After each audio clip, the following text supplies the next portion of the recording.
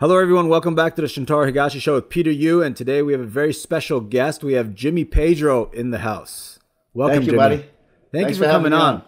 Yeah, Jimmy Pedro, for those of you who doesn't know, he's a world champion, a former world champion in judo, right? He's a two-time Olympic medalist. Is that correct? That's Did correct. that right?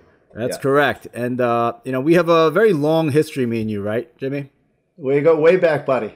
We go way back and uh, you know it all started with me looking at uh, the real judo magazine and seeing pictures of you. You remember that cover when you were like this? Right? 1999.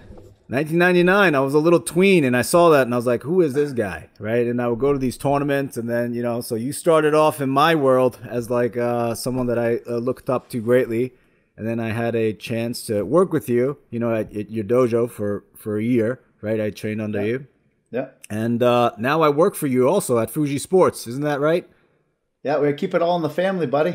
Yeah, that's right. It's been a very, very uh, long journey, and uh, you know, sometimes I feel a little bit, uh, you know, you're like this guy, right? So it's like a little bit, you know, oh my God, Jimmy Pedro, I get to talk to this guy all the time. It's pretty cool for me, you know, people know you who you are and stuff. So, yeah, all right, let's get started. Thank you, Jimmy. Uh, that's for my listeners, and uh, you know, tell me a little bit about uh, your judo history uh, for those people who are listening who may not know. Right, Let's Judo with that. history goes way, way, way back. I started judo in 1975. I was five years old at my dad's dojo, which was Massasoit Judo Club in Peabody, Massachusetts. So goes way back then, but I really got introduced to sport much like you did from the day you could walk, right? Your dad's an instructor. Yeah. You're always at the dojo. You're always around the sport. So that's when I got started. Um, for me, it, you know, judo wasn't something that I loved when I was a kid. It was a place that I went that had lots of other kids, and we played all kinds of other games.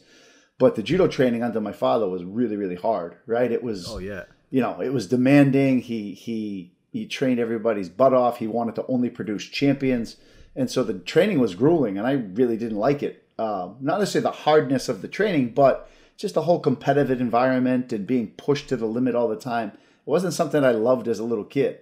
Um, but you know, as I got older, I started getting better, and when I was in my teens, I realized I had a lot of potential, and that's when I took training, you know, very very seriously, and ended up making my first Olympic team in 1992. Uh, I was my my dad's first student ever to make the Olympics, so that was a Yeah. big moment for us as a Huge family, deal. and Yeah. you know, as my dad as a coach. And then, you know, having not medaled in 92 at the Olympics, I was I was crushed. I was devastated. It was something that I had, you know, wanted to do my entire life and had dedicated my entire life to, and I felt like a failure after 92 because I didn't step Yeah. up on the podium. Um, which led me to pursue the 96 Olympics, which I trained for more years. I lived in Japan for six months in preparation for those games and ended up winning my first Olympic medal. And, you know, that was, that was truly a, a dream come true because it's something Yeah. you, you've always pictured is stepping up on the Olympic podium. And when I finally got to do it, it made all the training, all the blood, all the tears, all the sacrifices, it made it all worth it. And it was special. Yeah, in um, Atlanta, right? Too. It's like an American soil and all that. So I remember watching that as a kid, man. It's like, oh, That was the best time ever. Like, Yeah. you know, when you win when you win an Olympic medal in your home country and the entire Yeah. crowd at the time, I think it was seventy five hundred people, you know, in the crowd were behind you chanting USA, USA. It Yeah. was it was Right. electric. It was really electric. And beating a Brazilian, throwing him free pone for the bronze medal was, you know, it couldn't have finished a better way, really. So nice. there was that. Then you know, four more years of you know struggle and training and sacrifice. I had three kids at the time. Oof. Um, yeah. you know, I, I was reign world champion in '99. Going into the 2000 Olympics, I'm going to be America's first ever gold medalist. Yeah. I was in. I was in all the magazines, Sports Illustrated, ESPN, like lots Right. of news coverage. Went to the Olympics and just was flat, just overtrained, just a flat Mm. performance. Um, it was a little bit of a weird tournament. Uh, the The Olympics didn't actually start until 3 p.m. in the afternoon Yeah. you know, because of TV time. So it was like it took me totally out of my normal routine. No excuses, but when you're expected to win and you come home finishing fifth, you're Yeah. just crushed, devastated. So, you know, bad Olympics in Sydney, very upset about the performance, and then decide after two years leave of absence that I got to do it one more time, which is Athens Yeah. You know, and, and then the Athens Olympics comes and you know, I finished on the podium again. I can end my career on a high note and feel like I was I was a winner in the end and it was it was a special career. But Yeah. you know, I remember watching uh, Fury on the mat. Do you remember? I mean, I'm sure you remember it, but I remember watching that, and that was a big moment uh, when you made that comeback. It was like, "Hey, Marie, I'm gonna go for it again." You know, I know we have all these kids, and my neck is banged up, but I'm gonna go for it. You know, and I was like, I was remember watching that, like, man, oh my god, you know. Uh, yeah, that me and yeah. my one of my buddies. I used to work at Monster.com, and my buddy was in the uh, video department. He helped me pull together all my old videotapes and all my yeah, old stuff, put them on DVD, and then helped me create that film. Yeah, dude, I remember so many of the watching it as a kid. Man, there's so many tidbits of it. It's like uh, I remember one of the things was like, hey man, like I've never lost, you know, until I was like nine years old or something. And the first time I've ever lost, and I've had all these wins. I was completely undefeated. I was absolute savage. I had the was it the half Nelson turnover that you ran through all the kids yeah. with, yeah. right? And then he was like, and then, man, I, and then and then it happened, you know. And I remember thinking, you know, like that, like I don't know why it le- left such a lasting impression on me. It, you know, you know though, it, I was 11 years old. I had never lost a judo tournament. From I said nine. Sorry, six to 11. 11. I won every Jesus. junior national championships. Every tournament my dad ever took me to. Like how many matches was, was that? That must have been crazy. We we went to everything. So hundreds, I, I thousands. Even, I don't even yeah. know. Oh, so, regardless, I had never dealt with a loss before, and I had a father who every time I saw any of his students lose, I always saw him like you know yelling at the kids and telling what they did wrong, and he was loud, he's aggressive, yeah. he's abrasive. I've taken so that I, from your father too. Yeah, I remember that. I never wanted to be the guy on the receiving end of that, so I always won on the mat, so I didn't yeah. have to get my dad mad at me. Right? I thought he was going to be angry, so when I lost that fight, I just collapsed on the mat. I just fell. You know, when the hand went up, it was a split decision. They gave the the match to the other kid. I didn't know how to deal with it. I just emotionally just fell on the ground crying. Yeah. And oh, I think Lord. at the time that's when my dad realized like, man, this kid's under a lot of pressure. Like I can't believe it's affected him 11. in this way. Jesus, like he had to yeah. carry me off the mat, pick me up, carry me off the mat, take me home, and tell me it was okay. Yeah, it, was a, it was a tough lesson. yeah. Oh boy. Man, that must have been tough doing all that stuff as a kid, right? I mean, did you guys have a lot of good stuff in between too? Like, hey, you know, uh, sometimes if I won a tournament with Tayatoshi, like he'd buy me ice cream, or were there like soft moments like that? Yeah, yeah, for sure. Every yeah. like for us, the, the junior nationals in judo was the was the one week we took for vacation as a family. So wherever oh, yeah. the junior nationals was, we tried to do something fun in the town afterwards you know, so we went to like Knott's Berry Farms and we went to Six Flags. And yeah. you know, after the tournament, my dad always wanted to do something celebratory so that it wasn't just about sport. It was about, you know, sightseeing and, nice. you know, visiting other places and doing some fun stuff.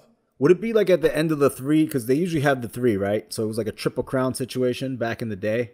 Do you remember that? It was like the USJA. Well, back USJA, in the day, for me, it was just the JA Nationals and the JF Nationals. USA Judo oh. didn't have like a, oh, oh, oh, oh, you know, they didn't exist. Yeah. It was the the JF was the biggest nationals, in the and summer. The JA was another national. So, yeah, nice. we used to go to both. Wow. We tried to go to both, the USJA Nationals and the USJF.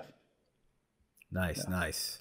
So you had this very, very illustrious career, and then eventually you transitioned into coaching. I know you have a very successful dojo. I took part in that for for a long time. I used to visit you. I went to all your camps, right? And then I was training there. I even lived in your house, right? The athlete yeah. house. That was a that was a great time in my life. Thank you for having me there. Oh, you know, um, yeah, it was great. A lot of the stuff that you know you preach, I, I lived it. Right, I was there. Um, after the competition career, now you transitioned to the coaching side how was that transition? Like, did you love it? I mean, I know you've already produced a lot of champions and stuff. Like, is it the same fields, the same highs, or is it a little different? Uh, so it's it's definitely you know it's definitely different, right? I mean, when you're an athlete, when you're an athlete, then when you win, everything is because of what you've done, right? You've earned the right to win. Mm. As a coach, you're relying on your athletes to yeah. perform. So yeah. you're more of a puppet master. You're trying to get the most out of your athletes, mm. but you're not the one that directly, you know, affects whether you win or lose. Like you help yeah. in the process, you're part of that process. You prepare them mentally, you prepare them physically. At the end of the day, they have to execute. And so that's that's where it gets tough when especially when they don't follow directions or they don't do things the way you want them to do, it gets frustrating because if they if they competed the right way, they probably would have won that match. You know, so it's hard to live with those mistakes. But you know, yeah, as a coach, it, it, it's it takes um it takes more patience. You know, yeah, really you does. Can't just, yeah. You can't just put your head through the wall and do it because that's what you do for yourself. You got to figure out a way to reach this person, motivate them, encourage them, you know, show them, uh, teach them, reinforce it. Like it's Yep. it takes Yep. a lot longer as a coach to get things done. Yeah, I'll never forget, man. I was, uh, you know, I know you preached the over under pass. I know you're a master at that, and I think you you were the beginner of, you know, the starting guy with over under. You were doing over under pass before it was cool, right? Because that's the pass that doesn't prevent the person from turtling up, and it's an effective pass in judo, Right. right? Yeah. And I remember, uh, you know, at a tournament, guy goes for a sumi or something. And you're like, split the legs, and then I was like, ah, man, I don't know if I'm gonna get it. Like, I might get sankaku, and I like kind of like didn't go for it. Guy turned out. You're like, Jesus. And I remember that. So I I saw the frustration in your eye then, and you know, yeah, I hear you. Yeah, that's uh, you know, Uh, you know, what's funny is that that over underpass. I started doing that back in like 1988. So you're talking about jiu-jitsu didn't even come to this country until the 90s. You know, till the 90s after the UFC, you know, the first UFC and stuff like that. So I've been doing that stuff way before, you know, it was really popular.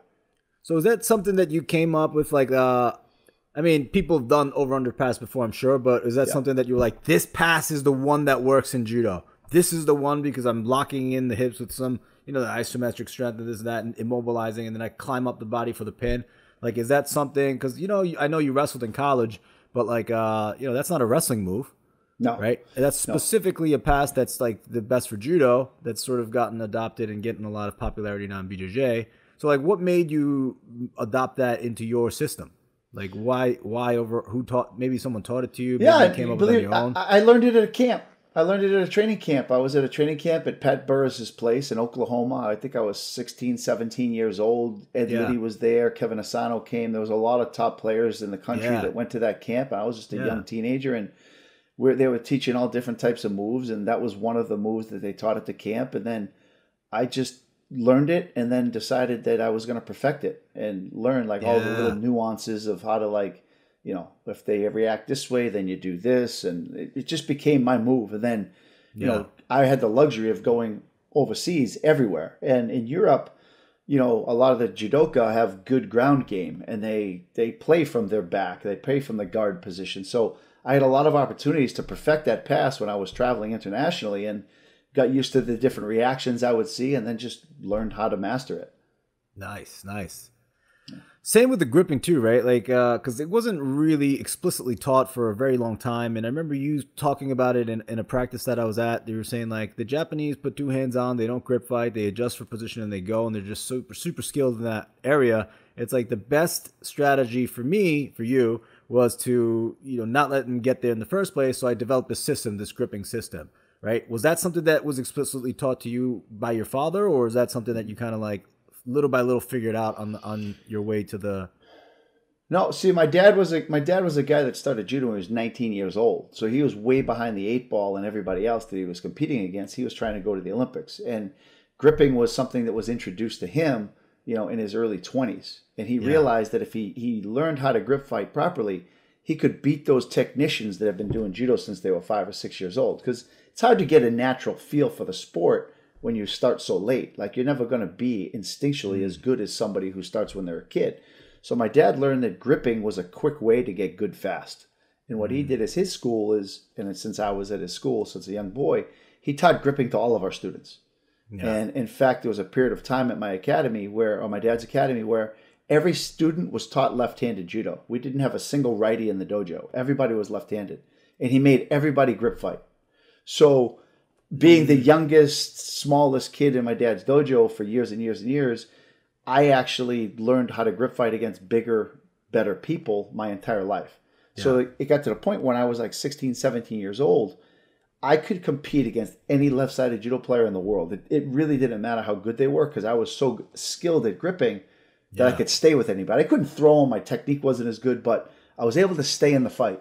And uh, and then later on in my Yeah. career, I got you know any lefty that I fought in the world. I don't care if it was Quellmalz, I don't care if it was Udo, U- you know um, Yeah. Martin Schmidt from Germany, Udo Quellmalz. Any lefty that I fought, I pretty much beat them all.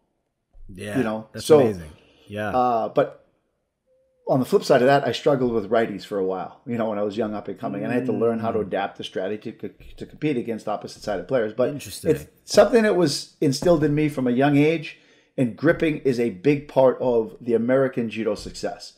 So whether it's Ronda Rousey, whether it's Travis Stevens, Yeah. whether it's Kayla Harrison, myself, you know, even the ones that made the Olympic team, maybe didn't medal, but had a really good career and they won Mm-hmm. a lot of international fights. Gripping played a huge role in their success. And that's Yeah, very that's important sure. to the system Yeah. of judo we're trying to teach here in America. Because although the Japanese, you say, don't grip, you'd be surprised because of how long they've done it instinctually. They know how to position their hands. Yes. They know how to take inside grip. They know how to nullify your sleeve. They don't have a system that they teach. It just comes through doing so many hours of training and so many years of training. They do it really well. And what's funny is that Ayumi Tanimoto came to my dojo for about a month to uh, just you know sightsee and help out and, and Yeah. whatever. And we were going over gripping, and she saw the concept and she was like, "Wow, okay, let me show me this." And I was teaching her, and then I said, I grabbed her sleeve and I said, "Please break this sleeve grip." And without even ever being taught specifically, Yeah. she took her hand, she brought it up and used her her elbow to shorten the gi. Hmm. She took her hand inside, which gave her some pressure on the, and she ripped it out, just like we would rip out how we teach athletes to rip out the sleeve. She did Yeah. it instinctually, just because that's how to break a grip. You know, mm-hmm. so I think they're not new moves, but they're moves that we teach in sequence so that they're Yeah. easy to understand and they're easy to replicate, and therefore it's a gripping system. Yeah, and you know that that con- like really connects with your judo system too. Like, because I remember thinking like, uh, you know, oh man, like you know, gripping, gripping, then you can't outgrip the guy. You're losing in position, and now you kind of start panicking, and you go for like a bad tomoe nage or sumigaeshi because you're like, oh man, I can't throw this person. This guy's about to throw me tayo. And then you go to your back, and now all of a sudden you're passing him over under, right? So like, boy, is that like synergy like really tight. You know, I remember thinking that. Not to Yeah. get too technical about the judo side of stuff, but you know, I, I'm kind of a nerd, and I'm sure if people are listening to this, yeah, they like it too. I, dude, I will never forget, man, getting uh, working out with you one night. Like you came in, you're like, "Hey, Higashi, let's go," and then, you know, you had the post right because you're left, I'm right, and you had the post on the collar hand, and then I'm on the outside, and I tried to circle on the inside, and then you closed it. You took two steps and then hit me with a tayo. But the thing is, you didn't have my sleeve yet. So like as we're moving, right, I circled my hand in. You took two steps. I had no hands on. You caught my sleeve and hit me tayo. You remember that? I don't. Probably don't. Yeah, probably don't. But it, it was like I remember that. I was like, holy moly! If you know, if you could do that, right? That's that the something that you idea, right? specifically That- I mean, drilled? that's the idea is to is to always keep inside position, and when your opponent gives up position, you take advantage, Yeah. right? So Yeah. yeah. it's all it is part of the system, but that's obviously a, a high level advanced feel you have to get for the sport. Is that something that you explicitly drilled? Yes, it, it's something I drill. It's something I teach to our students how to close that elbow so the person can't come Yeah. inside. You force them back out, and then you take you know take good control. And listen, Yeah. I learned it when I was in Japan. I mean, how do you Yeah. you know when I was in Japan, I was trying to figure out how to get inside, and I couldn't. And I saw Yeah. what they were doing, and so I you know I trained it, I learned it, and and you just pick up things. You know, as a as a judoka, you have to be constantly learning, and you have to always have Mm, your true. eyes open. You have to have your Yeah. eyes open and understand what's going on, and Yeah. then figure it out, ask questions, and then make it part of your game. Nice, nice. Is there anybody on the international roster now from the U.S. that is sort of like you're watching from the side and you're like, man, that has that's good judo. I know, you know, we only qualified two Olympians, correct? Yeah. Right. To Is date, it was Angie Delgado qualified directly for the Olympics, and uh, Colton Brown took the uh, wild card slot at the Olympics. Uh, So we have two definitely going to Tokyo, but uh, Nefeli Papadakis still has a chance because she's you have to be top 18 in the world to go to the Olympics. She's ranked now 19, so she's out of the qualification. But from what I understand, there's a girl from Slovenia in that division that's currently pregnant who's probably going to pull out of the games, and if so, Nefeli will get a chance to go. Nice. So that sounds three. good. Yeah. So let's uh, explain to our, our listeners about like how does one go about qualifying for the Olympics. I know they change it every couple of years, but this specific Olympic cycle, which I assume they're going to keep doing this system, right? It's hard to say. It- you know, in 2016, uh, there was the top 22 men got to go to the games, Yeah. and the top 14 women. That's how it was in 2016. Yeah. In 20, uh, 2020, they changed it to be the top 18, whether you're a male or a female. So eight, the best 18 men in each weight and the best 18 women in each weight from different countries. It's not you, you can't send more than one from each country. So it's really not the top 18 in the world. Usually they go down to about 25 to 30 to get rid of the, the repeat countries. But so it's the top 18 men and women is the way it is for 2020. And the way you So- qualify.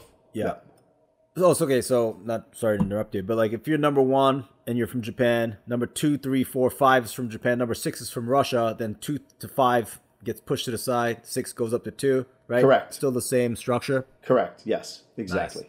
So 18 rank per country per weight class, essentially. No, 18 ranked per weight class. So Per weight best class, yeah. 18 per weight class from different countries. Yes, yes, that's correct. Wow. And then how does the wild card work now? So the wild card is given. So there's the way the IJF has set it up is they want they want representation from every country in the Olympic Games. So every national Olympic committee, national governing body. So France, you know, Mauritius, uh, Cuba, Brazil, they make sure that there's one repre- at least one representative from that country at the Olympic Games. So every country gets one slot. It's called the wild card slot. So if you have nobody that directly qualifies from your country in the top 18, Jamaica gets to send one person. They get to pick their best person to go to the Olympics. Interesting. know, so, I have to In the move to United Antarctica. States, Is that is United- that right? What's that? I have to move to Antarctica, right? I'm not sure they actually have an official judo program there, Shintaro. You might, but uh, that's the idea. Yes, um, and then if you're from a country that qualifies five people, you get to have one wild card. If you have 15 people, you still get one wild card. You always have one extra from your country who is the highest point gatherer. They have to be the person that gets the most international points from your country. That person gets the continental quota for that country. Nice. Can you explain a little bit about the international point system? It changes. It's changed a lot, and even it, you know, between uh, they extended it one more year from 2020 to 2021. They extended another year, and they even changed the points from that in 2021. The points change again, so it's constantly evolving. But essentially, they take the hardest tournaments, the World Championships, the World Masters, and they give the most points to that event. If you win the World Championships now, you get 2,000 points. 2,000 know, points. Wow. if you win like a Grand Slam tournament, like Tokyo would be a Grand Slam, um, Paris is a Grand Slam. Those four Grand, Grand Slam, Slams. correct. Right now there are. Yeah, there's there was one in Russia as well. So the four Grand Slam events, you get like a thousand points if you win, and then Grand Prix they have 700 points for gold, and you know there's a point total for gold, silver, and bronze at every one of those leveled events, and then Yeah. they have uh, it starts with the world championships. The olympic games is the most points the world championships the world masters then your four grand slams. Then there's about 20 grand prix events uh, around the world and those are on every continent pretty much the grand prix and then they have a next level lower which is the continental cups which are you know in a lot of different countries and those are really good right. development tournaments low level tournaments to kind of like test out your skills at the international scene Yeah. the entire world doesn't go. It's pretty much, you know, your continent people go to those events. Not necessarily going to get people from Japan and the Americas competing together, but most of the South American countries go to the continental cups that are in the northern southern, southern hemisphere. So you get up, you add up your best five, your best five uh, points from your best five point that you earned at any of those competitions, plus you get either the World Championships or the uh, Pan Am Championships as a sixth point tournament. And they take your best six results Oh, gotcha, from gotcha. 2020. Well, now it's 2021. Your best six results from 2021, and then your best six results from 2020 uh, add up together to, to qualify for the Olympic Games. Nice. So, what is like the bare minimum in terms of points to make it on average? On average, It varies by division, but it's around Yeah. 2,000 points is what you need. you know, you, 2,000 around points. between 2,000 and, and you know 3,000, I would say, will get get you to the Olympics. Do you like this system over the old system where you had to qualify the weight in the Pan Americans and then win the national qualifier, the national trials? Do you remember that? That's probably like 2000. I can't even remember when, but like 2008. So, I mean, back in my day, you just had to Yeah. be the best person in your country, and you got to go to the Olympics. So, if you were the best oh. American, you didn't have to you didn't have to win on the international stage. You just had to win the U.S. trials, and you oh, got to go to the Olympic Games. Yeah. But because they're trying, because more and more sports are, are entering the Olympics, right? There's all these new sports. Karate's a new sport. Skateboarding's a mm-hmm. new sport. All these new sports that get introduced to the Olympics. every four years, the number of athletes keeps growing bigger and bigger and bigger. And so what they're trying to do is control the amount of athletes go to the Olympics and the way or limit it. And the way they do that is they have to cut back with the existing sports. Like, hey, judo, you you can't bring a thousand people to the Olympics. You can only bring six hundred.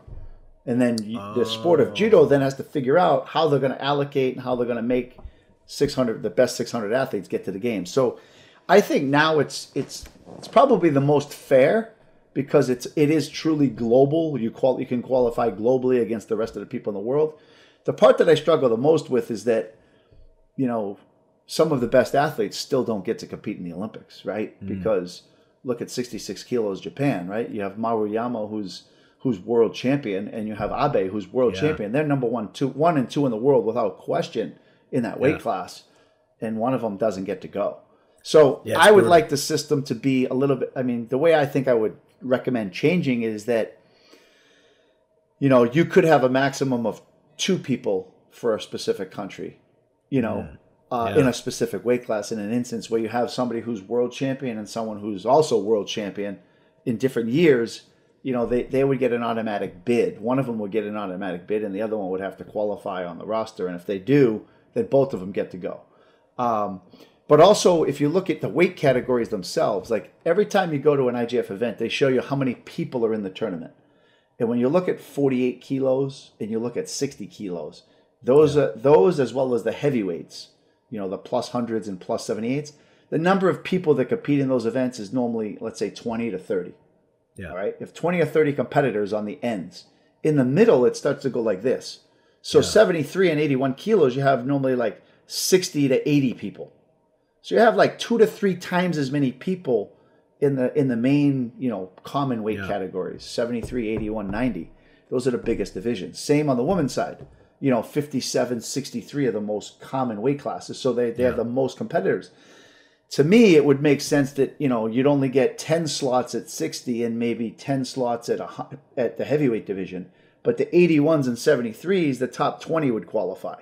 Because if you look at the percentages, a lot more people are competing That's in true. those divisions. Definitely. You know, it's tougher to qualify in those divisions. yeah. Oh, that would definitely make it a little bit more fair, right? Right. It would. Yeah. So, So how does anyway. uh, the U.S. team look this year? I mean, Well, I know I mean- Colton and Angie, but uh, you know, for our listeners, maybe they, right? Let's give like a little bit of a Sure. run on how they do. It's like an Olympic countdown event, also collaboration with Fuji. So, right? Yeah, they're, I mean, they're both uh, they're both athletes that I've worked closely with. I mean, Angie and Colton were both on the 2016 Olympic team. Um, you know, I've worked personally with both of those athletes. They've spent some time here at my training center. Um, they're both they're seasoned competitors. They've been around for a long time now. I mean, Angie was winning the I think it was 2012 or around there, 2012. She won the Grand Prix in the United States when it was in Florida. So she's been at a high level now for you know eight to ten years. Colton's been around for a long time. He's bigger, he's stronger, he's more experienced, he's more professional in his approach. He's doing everything he can, strength and conditioning wise, to give himself the best chance at the games. And you know, he's beaten some good players, as has Angie. Um, they haven't won at the biggest stage yet. You know, they haven't won at the Olympics. They haven't won at the World Championships. I don't think either one is placed at the Grand Slam level events, the Tokyos, the Parises, when the best in the world are there. But you know, in order to win at the Olympics, you just you have to be there, right? You don't have a shot if you didn't qualify. True. Uh, so they're both in the Olympic Games. Second, they've already been to an Olympics once, so they're not going to be as starstruck. They're not going to be as nervous. They're more experienced. And the more comfortable you are competing, the better you're going to do. You know. Um, on top of that, you know they've both had a lot of events where they've competed at the highest level, and they've been able to train with everybody they're going to compete against. So they've got you know they're, they're not wowed by the people. They're in the game, and at the Olympics, it's a special event because most of the top guys feel a lot of pressure, and they hmm. don't necessarily always perform well. Whereas the young, fearless competitors that just go out there and fight end up doing really, really well. So I'm looking forward to maybe you know a top seven from Angie, a top seven from Colton. That would be a really good result for both of them. Yeah, both make it to that second stage where you get to compete in front of the whole, you know the big crowds and you got the media Yeah. on you. I think depending on the draw, it's tough at the Olympics now because they seed the top eight athletes. So Yeah. both both Angie and Colton are going to have to beat a top eight ranked person in the world to make it to that top seven. Not saying Yeah. it's not po- not it's it's not possible, but it's going to be a challenge. And you know, whereas definitely. back in back in the when I was competing, there were no seeds. You Mm-hmm. know, you could compete against you could be world champion, you compete against the Olympic champion first round. You know, Yeah. there were no seeds, Yeah. which Yeah, you could get really lucky with a draw. Correct. So back then, you know, you had a chance to get three or four wins under your belt with mediocre players. Maybe you got in a good quarter, and now you're right Mm. to the top seven because you had an easy easy path to get there. So it's a tighter road than it ever was before. But you know, they're both very experienced. They both earned the right to be there. You know, they're capable of, of having a great day. Then they're capable of that. You know, top seven being in the money. Nice. So a lot of the conversations I, I've been having with a lot of people surrounding the Olympics is people are saying, "Hey, did you hear about the, the they released the American Olympic team for the judo?"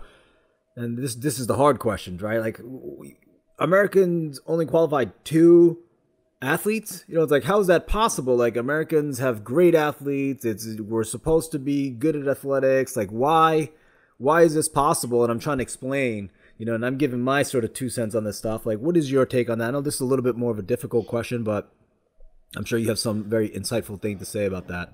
Well, there's a number of reasons. You know, the rest of the world is very professional in its approach to judo. There's, there's, you're competing against countries with huge budgets. Now, we're talking budgets of 10 to 20 million dollars per year that you're putting into their judo programs. They have professional paid staff at every level. The na- you know, senior national coaches, assistant national coaches that are traveling with the team all around the world at every camp, every event um, they're paying their athletes money to do the sport you know and that that's at the senior level the junior level and the cadet level athletes are being paid coaches are being paid and it's a professional business. The only thing that coach does is train athletes to do judo. That's their job.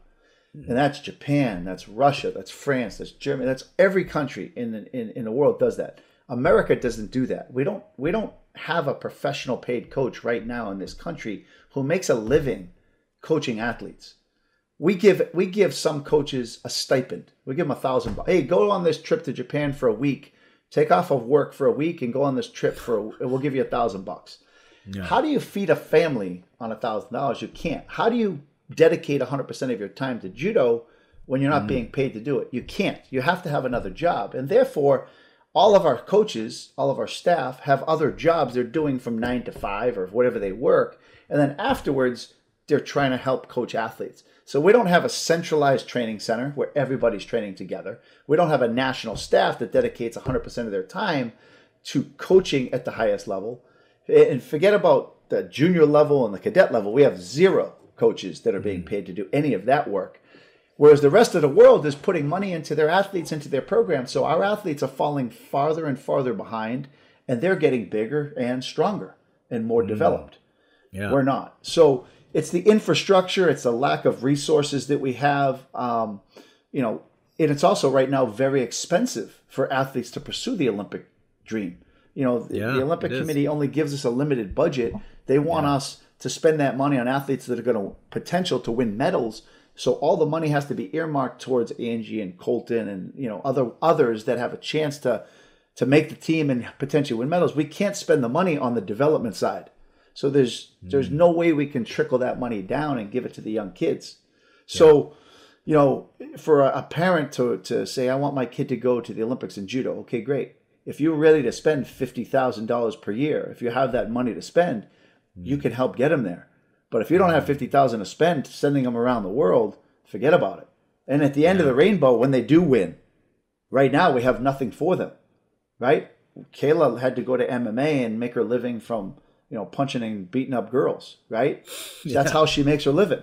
She Yeah. couldn't make her living anymore in judo, so there was no path for her to be a pro- judo professional. And I'm, I'm actually working with USA Judo right now on a plan to help professionalize you know coaches in this country athletes in this country the business in this country uh, and, and hopefully it's going to be a long path but hopefully we can get there because 2028 is right around the corner we're seven years away from having a full team compete at the olympic games in los angeles we're going to get you know seven men seven women and a combined team on the mat so it's an exciting time because now the kids have a chance to make the olympics it's going to be easier than ever before you just got to be the best person in the states to get there Ah, well, so no world ranking list, no none of that. It doesn't apply to the host country at all. No. Host You country gets out of one retirement, person no matter what. What's that? You got to heal up that knee and get come out of retirement. I'm ready, baby. Listen, if I could do it, I would. I love it so much. Yeah. Like, there's no greater feeling than being on the mat and like putting Yeah, it it's the all on the line and, and, and trying to win. You know? You out of everybody though, it's like you know, come up with a new system, gripping, uh, Tomoe nage Sumi, uh, Newaza based, right? Like I mean, right? You could probably do it, you know. I could. right? Listen, I, there's no way I'd hang with the top people, but I could. I get. I bet you there's a couple guys out there I'd beat. Oh, 100 percent from the U.S. Right? Oh I no, no, mean- I'm talking internationally. Internationally. Yeah. no, you is not even a question.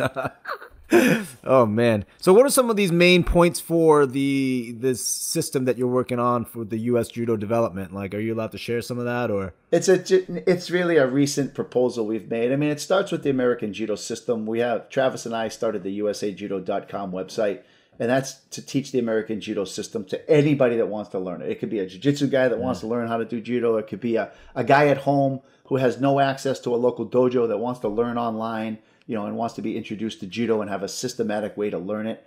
Um, it could be a high high level judoka or a you know a young up and coming kid who's 14 that you know wants to learn technique the right way and reinforce the the right drills. So it starts with the American Judo system as a content platform to educate the country, to elevate the level of judo in this nation by having an mm. online resource 24 hours Yeah. a day, seven days a week. They have access to judo and Yeah. how to do specific techniques because that's a problem. We don't have access to coaching in this country, you know, No, for a lot of people. So that's the start. The idea is to bring in other coaches from around the nation, other top coaches, put mm. them on this platform as well, so that we have every topic covered, every technique covered in a systematic way, and then eventually break it down so we have.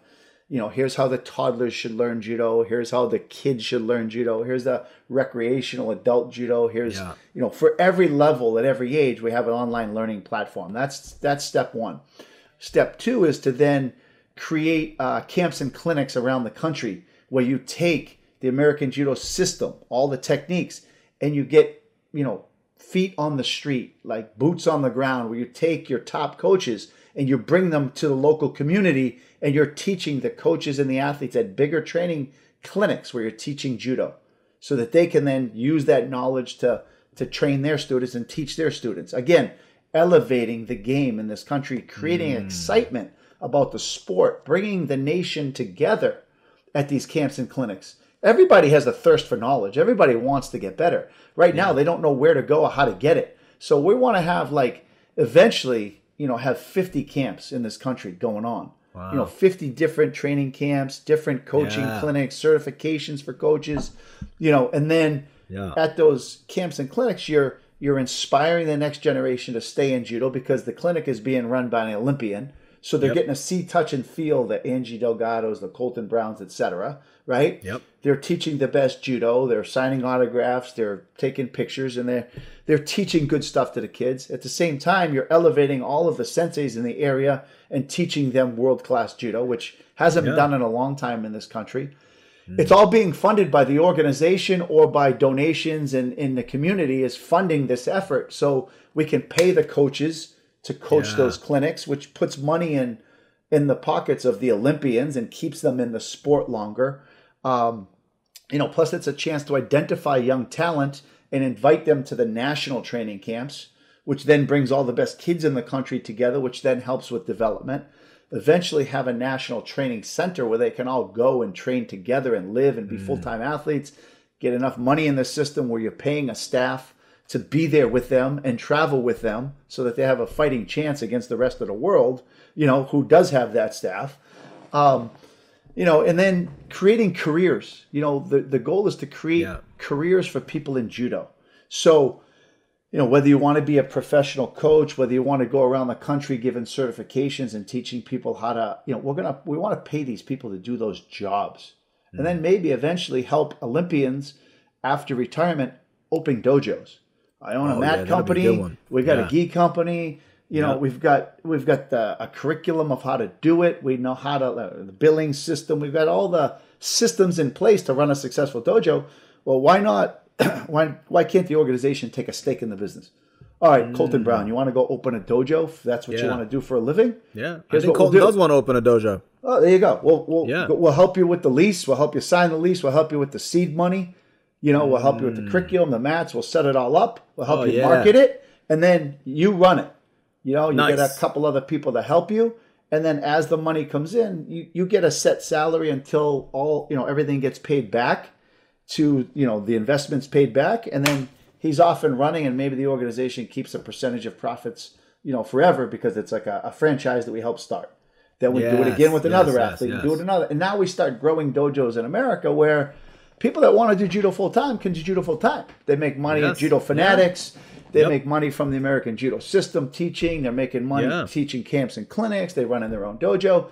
Well, we can get to that level. We've got you know twenty to fifty of those going on.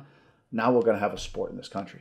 Wow, that's exciting. That's a great idea. I'm uh, very optimistic for the future. You know, things can fall into place and then it could take off. Right? That's very exciting.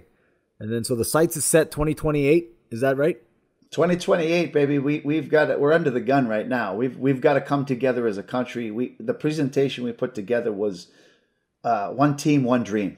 One team, one, team, one dream. dream. This entire judo community needs to come together for one cause. The Olympics Mm. are coming to America. We're gonna have a team. We're gonna have a team on the mat that can compete. And we Yeah. want to impress One the team, world. one with dream. One Love it. team, one dream. Let's go. Yeah. Can we do a T-shirt, a Fuji T-shirt? One team, one dream. Let's go. I'll sell it to my international distributors, right? Because that's my division, right, Jimmy? Yes, Shintaro We'll is a- heading up the international Yeah. distri- distribution of uh, Fuji Sports. He's doing a great job making connections Yeah. around the world. We're gonna take. It's not about the brand. It's about judo in this country, right? Like, Yeah. judo in this country's got to be. I'm passionate about judo. If it doesn't come across in the Oh, way I speak, yeah. I don't know, but uh, I, I really want it to be successful. I think it, it's the greatest thing that it you know it's the greatest sport that you can do in my opinion in terms of what it teaches you right martial arts all martial arts does but for me judo's so hands-on you know it really humbles people it makes you it, te- it taught me everything i needed to know in life on how to succeed and, and i owe everything i am today to the sport of judo without question Yeah. Well, that's amazing. That's beautiful. Yeah. so So that's uh that's exciting, man. Uh, I'm I'm pumped. I want to be a part of it. You know, I'm already am a part of it. But yeah, one team, one dream. That's beautiful, right? So that's uh, yeah, that's very exciting stuff, Jimmy. You know, really, really thank you. Um, any other things that you want to? So people could go to American Judo System right now and sign up and all this stuff. Yep, I, I, mean, have I know, but It's at usajudo.com is the URL. We purchased the URL. Uh, we got the American Judo System trademarked. Uh, we're Nice. doing it as professional as we can. Um, we only do it three hours a week. Travis and I go and shoot three hours on a Friday. Yeah. Every Friday we shoot three hours. We upload content. We're doing Yeah. live classes every two weeks. Every two weeks on a Awesome. Sunday one of us does a live class. Everybody gets to ask questions. Um, you know, we'll answer your questions about judo, show you how to do whatever technique or whatever problem you're trying to solve. We're we're there to help and support. Um, you know, eventually we're going to get into, ideally, get into having a promotion system online where you can earn your judo rank. Send us your videos. We'll give you Yeah. feedback, that sort of thing. Um, Nice. Run our coaches certifications in the country through this this platform as well uh, ideally, you know, have everything from from A to Z for the sport of judo. Uh, The other thing we want to get into is events. I mean, the other big part of this is is marketing our sport properly, and Yep. we're either going to look at an event center where we put on our own events all the time here in the New England market, or we also get into this special event business. We're just going to showcase live judo events all the time where we have our young kids in this country showcasing their skills on camera so people can really see what, what real judo looks like. are you uh, still doing Jimmy Pedro's Judo Challenge? I am, yes. So Nice. When is that? it, it, it's usually every March, but this year obviously I couldn't I couldn't get the gym for this March, right? COVID Yeah. wasn't over yet, that nothing had opened Yeah. up. But usually it's every March. It's a great tournament. We usually have about 500 competitors that come to the event. Uh, I try to run it as as professionally as possible. Get in, get out, have time start times for certain ages. You know, Yep. seniors don't need to be there till one o'clock in the afternoon. You know, the kids get in there, fight early, and go home. Yeah. Um, you You know, had six mats running, I think, last time I was there, right? Yeah, six full mat areas. It's at a beautiful facility. High school I went to, St. John's Prep High School. It's a beautiful facility. Um, Nice. You know, we bring in, you know, try to bring in the best refs we can, but we're all about competition. Like if, in fairness, if something goes wrong and nobody can decide, go fight again. We don't care. We just want to, we want the right person to win the match. We want everybody to get lots of fights. You know, Yep. you can move Love around that. your divisions. We're very flexible with the way we do our brackets. So uh, try to make it an athlete friendly event. Love that. Love that. And it's March, hope- probably March 2022 will be the time we'll be able to to run it. Nice. Nice. Cool. That sounds great. Anything else you want to plug? Thank you so much for being on this. Uh, anything else? I Find just you on appreciate- Instagram, send you personal emails and messages all, all hours of the night, right? Just What don't do face. Jimmy Pedro doesn't do Facebook. I'm not a Facebook guy, so you can reach me on Instagram, Jimmy Pedro USA. Uh, I run a, a- my own company is FujiMats.com. I'm also part owner of FujiSports.com. I mean, we're doing some great things in the marketplace that to build the community, you know. And, and I've always been about helping people. You know, it's not about profits. It's not about how much we're doing in sales. It's really about helping people uh, live their dream, right? And that's and that's building a dojo that's helping them with equipment, that's helping their athletes get to events, making it a you know a coach and athlete friendly environment. And you know, I've I've hired at our at the companies I own, you know, I've hired all my past black belts, my past students. Like if you look at the staff that I have, you know, at both companies, a lot of the guys train jujitsu, train judo, coach, mm. run schools. Like we're involved. We're martial artists, right? So we know what what our customers are going through, and we want to help support them and, and, and grow their businesses together. Awesome. Thank you very much, Jimmy. Awesome. Thank you guys. Appreciate it, Shintaro.